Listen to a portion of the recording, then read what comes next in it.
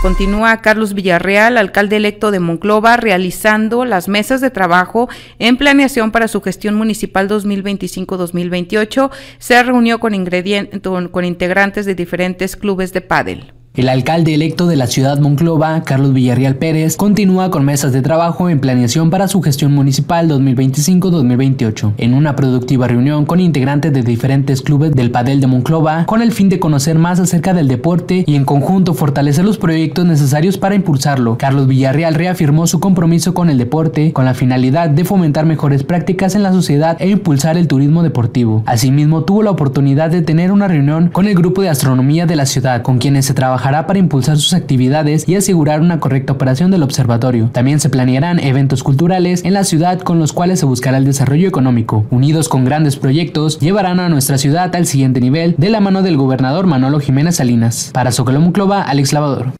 Ha visto mucho trabajando a Carlos Villarreal desde que le entregaron la constancia como alcalde electo del municipio de Monclova.